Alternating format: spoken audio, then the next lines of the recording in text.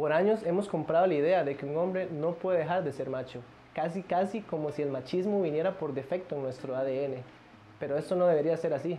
En realidad es posible desaprender las ideas de masculinidad tóxica y cambiarlas por las de masculinidades positivas. Hablo de que hay otras alternativas para salirnos de esta única caja de masculinidad que hemos comprado de forma inconsciente. Identificar y desafiar los comportamientos machistas no es tarea fácil. Tampoco es labor única de las mujeres, quienes encabezan la lucha de igualdad de género. Por esa razón, en el marco del Día Internacional de la Eliminación de la Violencia contra la Mujer, reflexionamos sobre cómo podemos empezar a desmantelar nuestro machismo. Desde que soy pequeño, escucho frases como los hombres no lloran, los hombres tienen que ser fuertes, expresar los sentimientos es una mariconada y otras peores.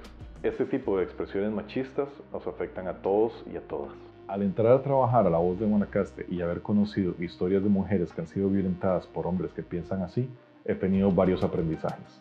No es debilidad masculina entrar en contacto con nuestros sentimientos y ser amable, cálido y tierno. Tampoco es una debilidad masculina buscar ayuda al sentirnos heridos, abrumados o preocupados.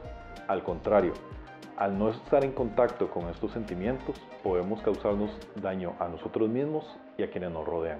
En la marcha del 8M de este año en Samara conocí un término llamado stonewalling, que viene de la palabra stone, piedra, y wall, pared, y tiene que ver con convertirse en una especie de muro de piedra para evadir una comunicación. Esta actitud ningunea a la otra persona al dar por terminada una comunicación sin ofrecer ninguna respuesta.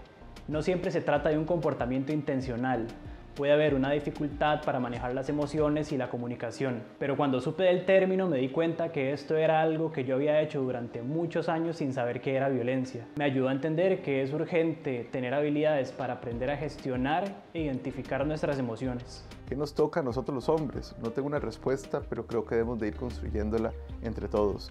Debemos dejar de lado ese orgullo machito y debemos dejar de oponernos a los cambios que nos corresponden. Las relaciones que mantengo hoy no son las mismas que mantuve hace 10 años y no por eso dejé de tener relaciones. A mis amigos cercanos los señalo y les hago saber cuando están cometiendo una conducta machista y no por eso dejé de tener amigos. Los chistes que hago hoy y de los que me río no son los mismos que hacía hace unos años y no por eso me convertí en una persona aburrida.